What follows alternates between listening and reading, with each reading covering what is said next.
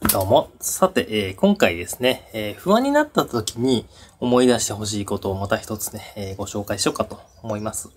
えそれはですね、不安なことを想像しているんだなと自分の頭の中で一度こう、なんでしょうね、不安なことを想像しているということを理解すると、えいうことをね、やってあげてほしいかなと思います。ね。えー、ね、何を言っているの当たり前じゃんってね、こう思うかもしれないんですけど、結局、その不安っていうのは自分の頭の中でこういう風になっちゃうかも、こういう風になってしまうかも、こういうようなこと言われちゃうかも、こんな大変なことになってしまうかもっていう、えー想像だということですね。で、それにいいとか悪いとかっていう、えーことはないんですけれども、そうですね。例えば、その想像であるということに気づくというのが、えーとっても大事なことかなと思いますね。こう、皆さんがいたとして、ね。今回ワンちゃんですけども、皆さんがいたとして、このワンちゃんが何か想像していることね。よいしょ。はい。ね。この辺に、あ、こういうこと起きてしまうかも、っていうことを想像している。ね。その状態に客観的に気づいてほしいんですよね。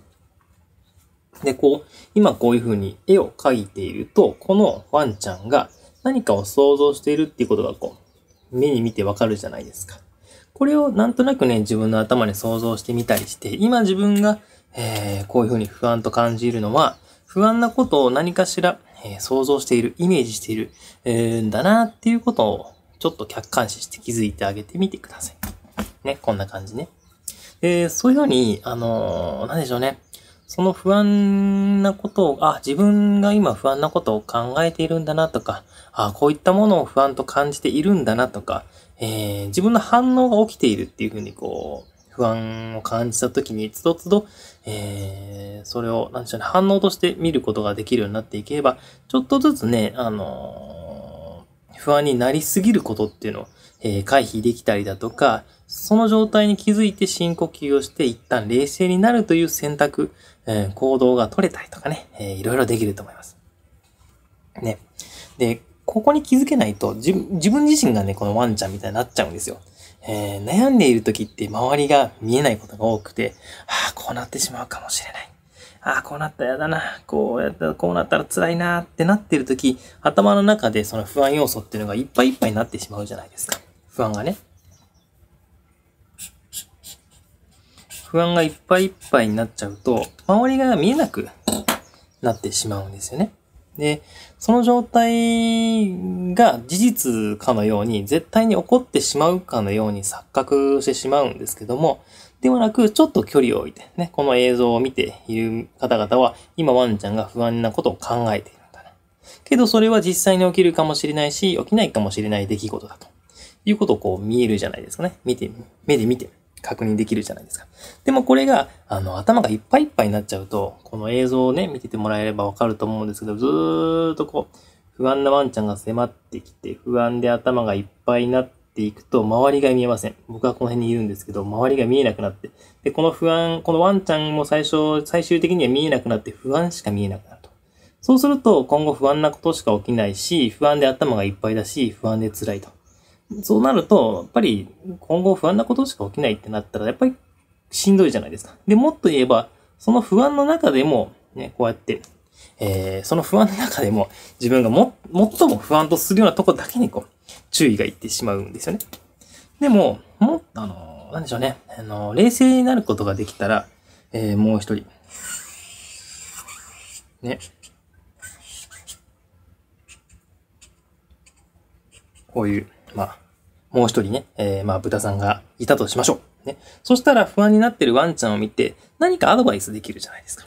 ね。こういう風にしたらいいよって、こう何か、えー、アドバイスができますね。アドバイス。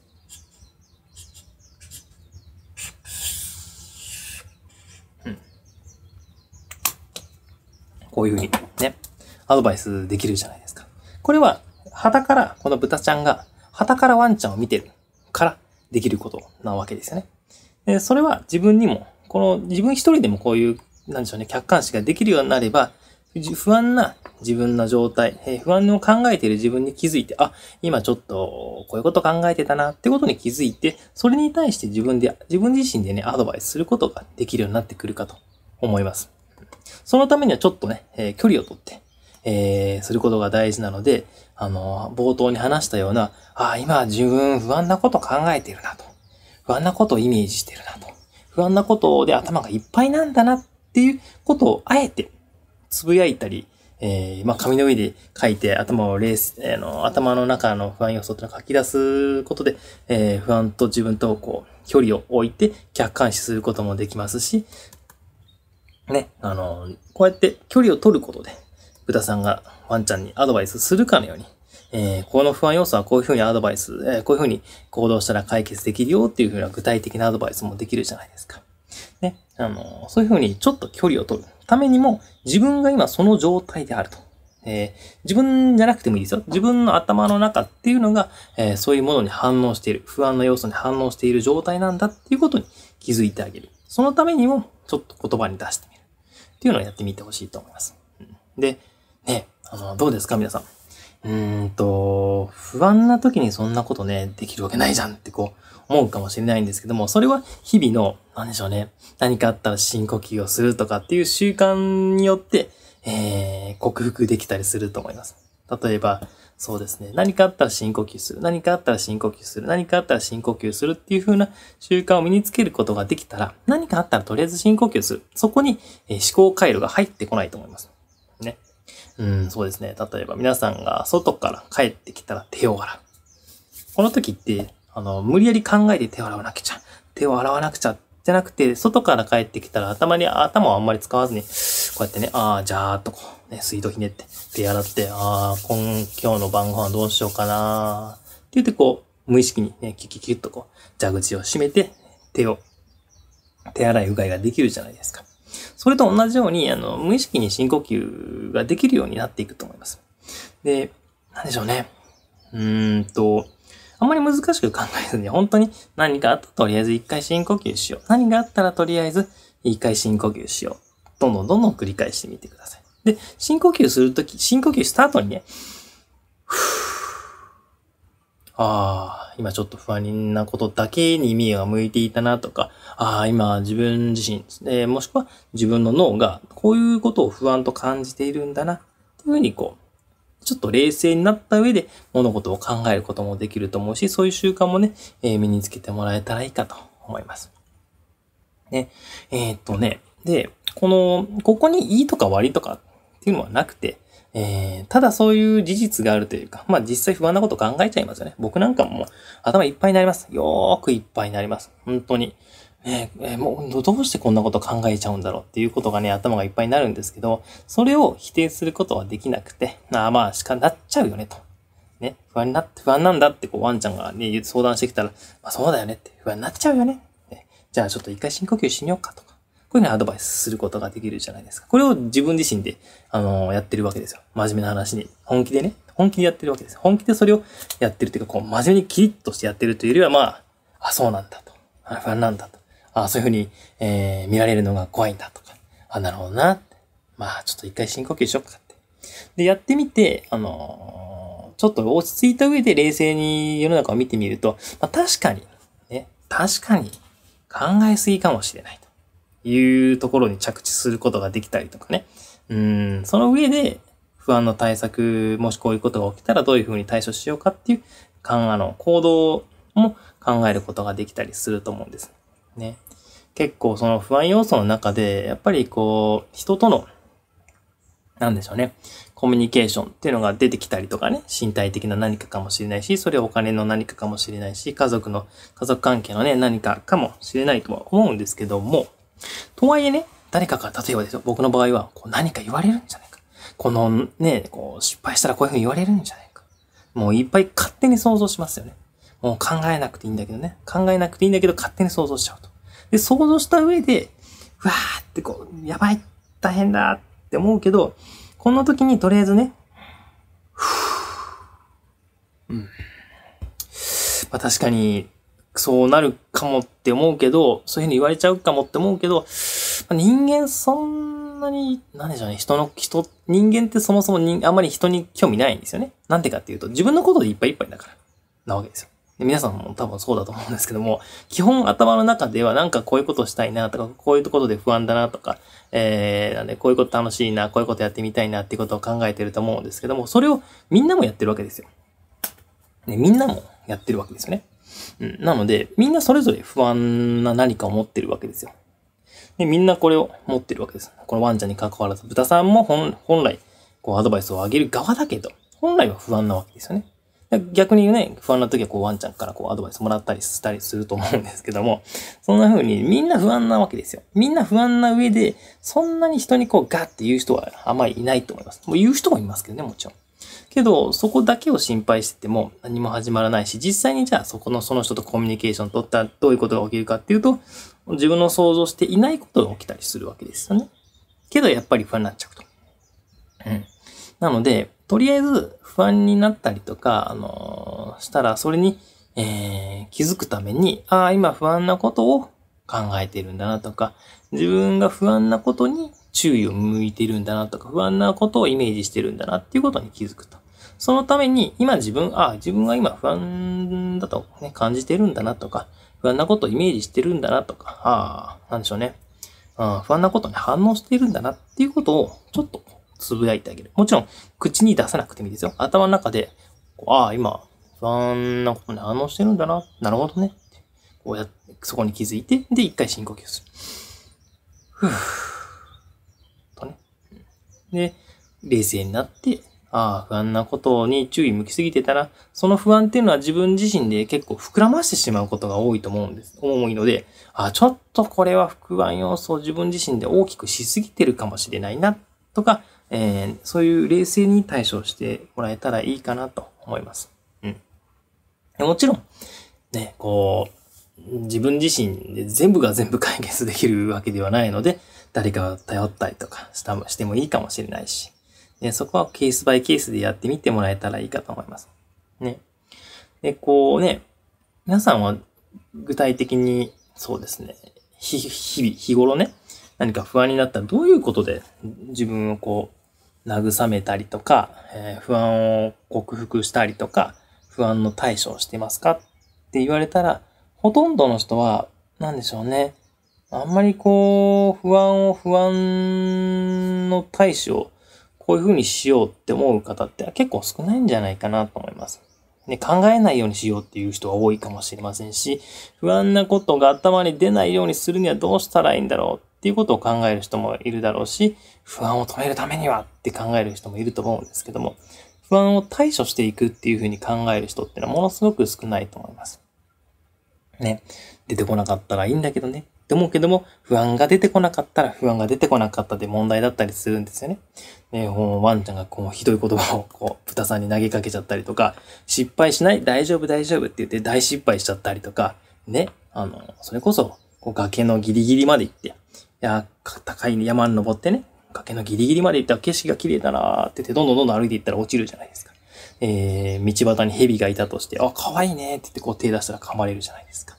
で、キノコがあった、食べてみようって食べたら大変なことになるじゃないですか。で、そういったことを、にならないために不安とか恐怖心とかっていうものがあるって言われていたりしますね。うん。だから、それがあるから助かってるわけですよ。ね。痛覚とかもそうですよ。ちなみに。あのー、痛いっていうのがあるから、あ、これ以上やめとこうって思うわけですよ。こうギューっとこう手をぐ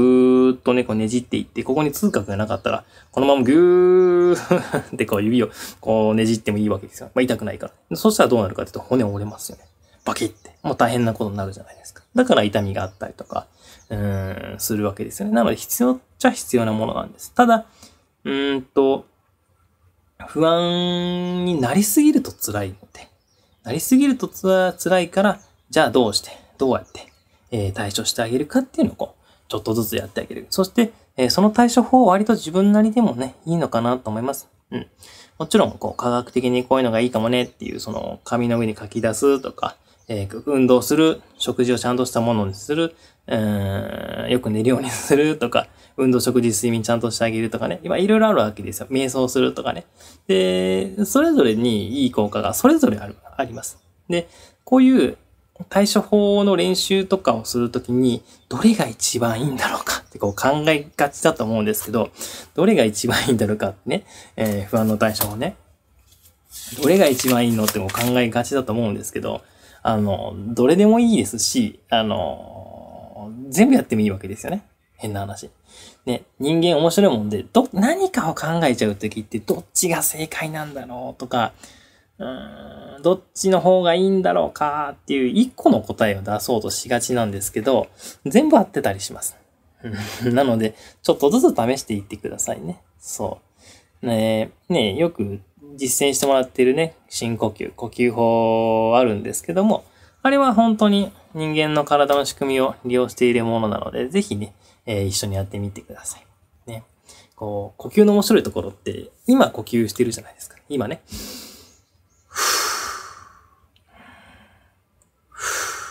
これは今の状態なわけです。これがどういうことかというと、不安な時って、今の状態というよりは、これから先こういうこと起きちゃうかもっていうふうなことだったり、この今までにこういうことがあったからっていう今じゃないところに注意が向いていったりするんですよね。で、えー、自分を不安にするのは事実ではなく、事実というよりはその事実何か起きてしまったことに対して自分がどう考えるか。解釈ですよね。の部分だったりもするので、何か起きました。そしたら、ああ、自分のせいだって思ったりとか、うわー、これで失敗するんだったら次もこういうことになってしまうかもって思ったりとかね。うん、だったりもするので、今の状態に戻ってくるというか、今の状態に、えー、なんでしょうね。あのー、船でいう怒りを下ろしておくと。今の状態に戻ってくるっていうのが結構大事だったりします。そしたらね、深呼吸してる間は、ふでね、ただただ深呼吸してる間はこう冷静になって、えー、不安ごともちょっと不安なことを考えてないので、冷静になってリラックスできると思います。で、その時にね、呼吸法もそうですけども、深呼吸するときに体に手を当てて、ここの、えー、ぬくもりを感じ取ってもらったりとか、手を当てると、なんだかちょっと暖かくなるじゃないですか。この辺ね。これ皮膚の感覚なんですけども、皮膚の感覚を、あの、意識注意に注意を向けてみたり、えー、呼吸をするときの胸が大きくなって小さくなる、この体を動く感覚に注意を向けてみたり、えー、すると。で、もしくはこう鼻から息が入ってきて、こう肺が膨らんで、で、口から息を吐くと、で、この鼻から息が入ってくる、息っていうか、まあ空気が入ってくる感覚に注意を向けてみたり、口から息が出ていく感覚に注意を向けてみたりっていう、この今起きている物事、いや、今、今の体の状態に注意を向けることができるんですよね。呼吸法とか、そういったものもそうですけども。この今の状態に触れるっていうことで、半ば強制的にいろんなことを考えていっても戻ってくることができると。ね。その心の安全地帯みたいなものに一旦こう、戻ってくることができるんですよね。こうね、こう、不安があったとして、ね。ああ、これだとちょっと難しいか えー、こう、ちょっとごちゃごちゃしちゃいますね。ちょっと一旦書き直します。こう、何かあったら、よいしょ。よいしょ。この音がダメだったりするんですけどね。ちょっと我慢してくださいね。こう何かあったらね、こう反復横跳びみたいなもので、これから先起きちゃうかもっていうこの未来のこと。そして過去のこと。で、そして今のこと。ここを行ったり来たりするわけですよ。そしたらものすごく疲れちゃうわけですね。で、これから先起きちゃうかもっていうこの先のことを考えてると、やっぱり不安になります。で、過去のこと。こういうことがあったな、嫌だな、とかしんどかったなっていう、あの、過去のことを思い出すとやっぱり疲れちゃうし、えー、トラウマみたいな思なものを思い出してしまうかもしれないですよね。怒りになるかもしれません。けど今の状態っていうのはあんまりそういうのがなかったりするんですよね。なので、何か不安なことを感じても一旦戻ってくる。深呼吸したり、えー、体に触れたり、運動したりして戻ってくる。過去のことを考えて落ち込んでても、とりあえず深呼吸したりしてこう戻ってくる。で、こう戻ってくるという感覚が、えー、つかめるようになっていけば、ちょっとずつね、自分が、ああ、先のこと考えすぎてたなとか、あ昔のことで落ち込んでたなっていう、その、自分が今どこにいたのかっていうことにも、あの、気づけるようになっていけると思います。これも客観視ですね。まあ、メタ認知って、えー、言われたりもしますけども。ね。なので、こう、なんでしょうね。あのー、不安なこともそうですし、あのー、過去のこともそうですし、いろいろね、こう考えることがあると思います。そして、えー、なんでしょうね、不安を煽る 仕組みが多かったりとか、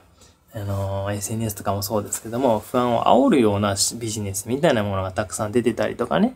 えー、こういうこと起きちゃうかも、こうなってしまうかも、こうならないためにはこうした、そうこうすべきだとか、えー、こうならないためにこれを見るべきだとか、絶対に100%、ほぼ100%こうなってしまうかもとか、これをやっている人はとか、あの、いろいろあるわけですよね。皆さんの気を引くために。ね、もうそれは YouTube だけに関わらず、うーん、いろんなところでやってるわけですよ。そしたら不安になりますよ。ね。だって不安に注意を向けるように作ってるわけですから。で分かっててやってるわけですから。ね。そりゃ、疲れますよ。なので、まあ、そういうものに注意が向いたとしても、とりあえず一回深呼吸して、ふぅ、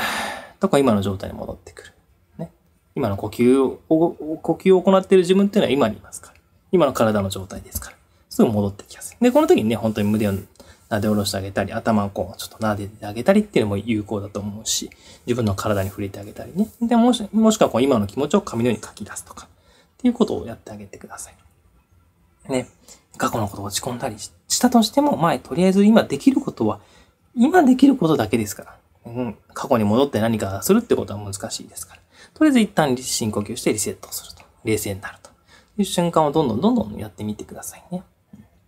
ね、ちょっとこう、いろんな話をしていって、どんどんどんどんずれていきますけども、また今の状態に戻りし、戻りましょうか。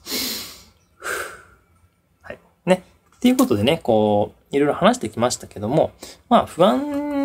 になったりした時にはね、あの、ああ、今なんかこう嫌だなって思ったりしたら、ああ、今自分不安なこと考えてるなっていうことに自分自身で気づく。そのために、ああ、今自分不安なこと考えてたなとか、不安に注意が向いてたなとか、不安なことに注意がいってと、その不安っていうのを大きくしていたなとか、っていうことを、こう、なんとなく頭の中で、こう、口ずさんでみてください。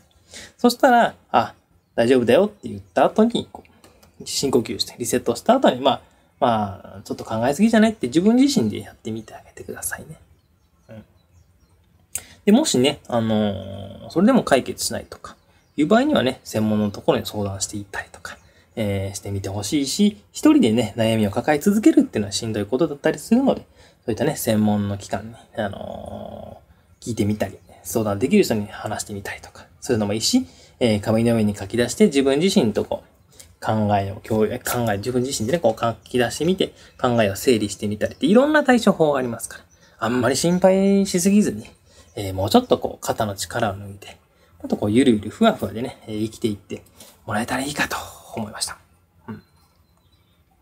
ね、あの、どうですか？皆さん、その、年末、うん、もうすぐ、もうちょっとずつね、こう、どんどん12月に近づいてきて、どんどんね、こう年末な雰囲気出てくるじゃないですか。そうするとね、やっぱ焦り出てきますよね。何か知んないけどね。何か知らないけど今年が終わってしまうんじゃないかっていう焦りが出てきたりするじゃないですか。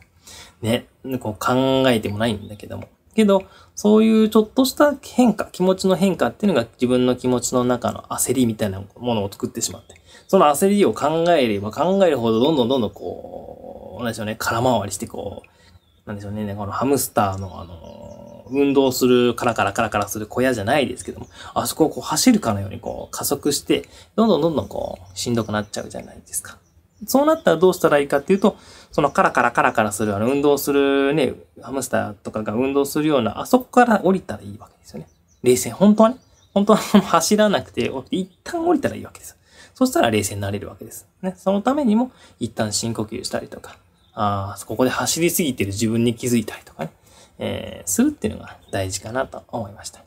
ね。うん、ね、こ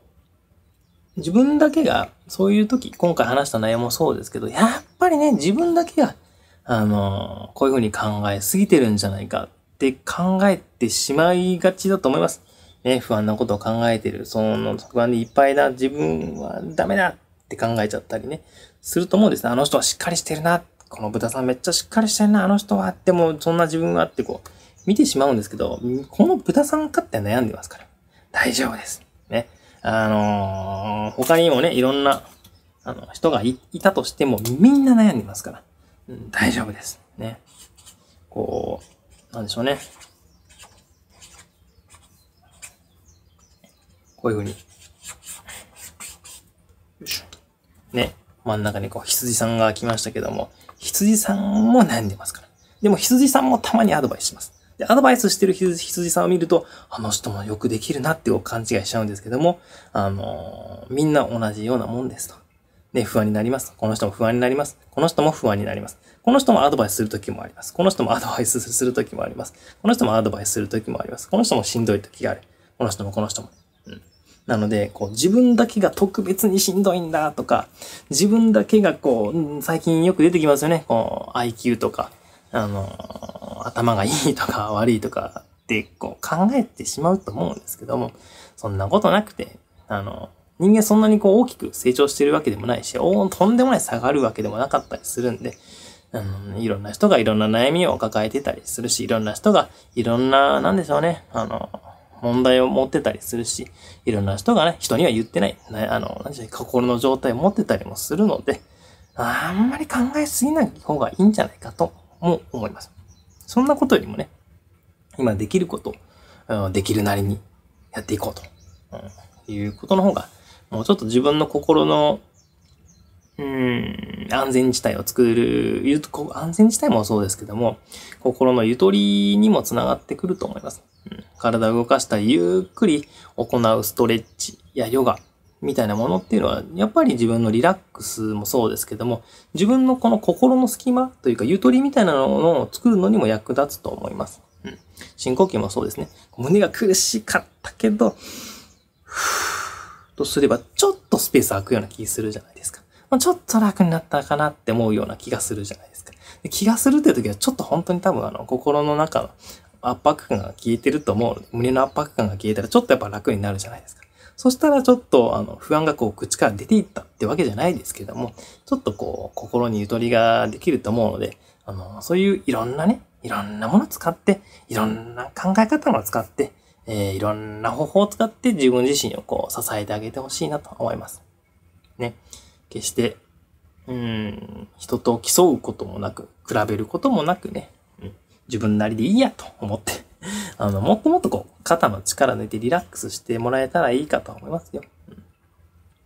はい。ではね、えー、今回の話っていうのは、不安になってるね、自分に気づこうと。不安な状態に注意が向いている自分に気づこうと。えー、不安で頭がいっぱいな状態に気づこうという、そんなお話でした。ね。そのためにね、ああ、今自分が不安になってんだなっていう自分の現在地をちょっと、あの、確認するかのように、あの、ちょっと頭の中で、ああ、今不安なことに注意が向いてたなとか、ああ、今脳が不安なことに反応してるなとか、今体が不安なことに反応してるな。その言葉自体はどんなものでもいいんですけども、あのー、そこに何かこう、自分であえて言うことで、そこに気づくこともできるし、一旦、あの、思考、頭の中に出てくる不安要素をリセットしたりとかね、えー、ちょっと考えるということは、ちょっと頭の中にスペースを作ったりすることだったりとか、今の自分の現在地がわかるということは客観視することでもあったりするので、ぜひぜひ自分なりの、まあ、魔法の言葉じゃないですけども、あの、もう作ってあげてもらえたらいいかなと思います。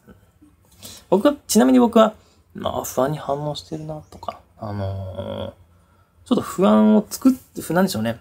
これね、ほんと時、ケースバイケースなんですけど、あの、ああ、不安なこと考えてんだな。まあ、そらそうだよね。そういう不安になるわな、みたいなやりとりが多いです。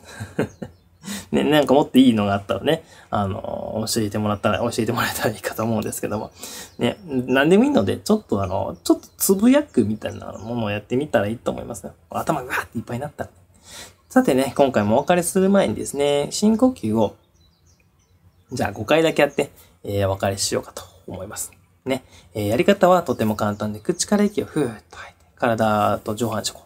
脱力させます。そして鼻から息を吸って、で、口から息をゆっくりと長く優しく吐きます。これを繰り返します。ちょっとリラックスできると思うのでね、5回分リラックスできると思いますので、ぜひぜひご参加ください。では一緒にやってみましょう。まず口から息を吐いて、鼻から息を吸って、口から息をゆっくりと長く優しく吐きます。繰り返します。鼻から息を吸って、口から息をゆっくりと長く優しく吐きます。2回ね、鼻から息を吸って、口から息をゆっくりと長く優しく吐きます。3回目。鼻から息を吸って、口から息をゆっくりと長く優しく吐きます。4回目。鼻から息を吸って、口から息をゆっくりと長く優しく吐きます。おまけにもう一度、鼻から息を吸って、口から息をゆっくりと長く優しく吐きます。はい。お疲れ様でした。ね、えーちょっとリラックスできたと思います。ね、どうでした？今、深呼吸している間って、頭の中が深呼吸でいっぱいだったと思うんですよ。その間、不安なことが頭になかったと思うんですよ。ね。えーそういう今の自分の体に注意を向けたり、今の自分の体というか、今の何かの行動に注意を向けるっていうのにはそういった効果もありますので、ぜひね、あの、自分のものにしてもらえたらいいかと思います。はい。ね、あの、不安なことをね、想像してる時もそうですけども、どんどんどんどん想像によってね、不安が膨らんだりすることもありますので、一旦冷静になってみてくださいね。ではまた、この場所でお会いしましょう。またね。大丈夫です。大丈夫です。ではでは。